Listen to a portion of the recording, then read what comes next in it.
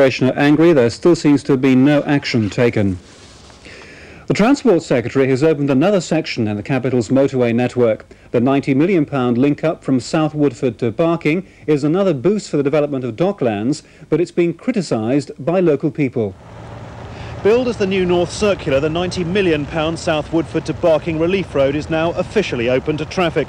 It's a five-mile link south from the end of the M11 down to the A13, a link which it's hoped will eventually extend across the river to a new bridge to join up with the A2. Transport Secretary Paul Channon, who performed the opening ceremony, believes it'll relieve congestion in East London and provide better links to Docklands. The new road's been completed three months early, and although largely welcomed by people in Redbridge and Newham, there is resentment at local road closures even as the new highway opens. A major construction consortium has unveiled a plan for a new town seven miles east of Oxford in the heart of Greenbelt land. The developers say the 6,000 new homes in their proposed Stone Bassett new town will be needed by the end of the century. Robert Maxwell's plan to buy Watford Football Club is back on ice. He's been told by the Football League Management Committee that if he wants to complete the £2 million takeover, he must first sell all his shares in Reading, Derby and Oxford according to league rules. Mr Maxwell has yet to respond.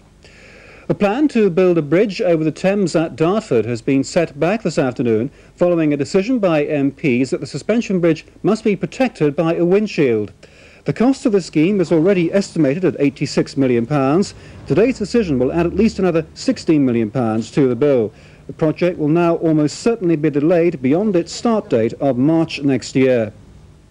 Landowners in the southeast have attacked the government for not helping them enough to repair damage caused by October's hurricane. Some owners are facing bills of more than a million pounds for tree clearance and replanting. The Country Landowners Association say that more money is desperately needed. That's it. I'm back with Andrew Gardner for our main news of the day. That is at 6 o'clock. Do join us then.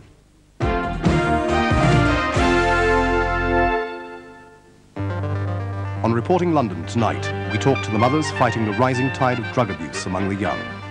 Some of their children have died, and we follow the campaign to rid the neighbourhood where they live of dealers and drugs. We infiltrate the world of the heroin dealers and drug addicts and ask what can be done to stamp out this evil trade. In one area of the capital alone, it's estimated there are 5,000 users. The mothers in a moving story reveal the telltale clues that litter the road to death.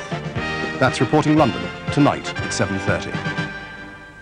And as always, that particular programme is introduced by Michael Barratt. Then later on this evening at 8 o'clock, we've got comedy with The Mike Yarwood Show. That's tonight, but now drama with The Young Doctors.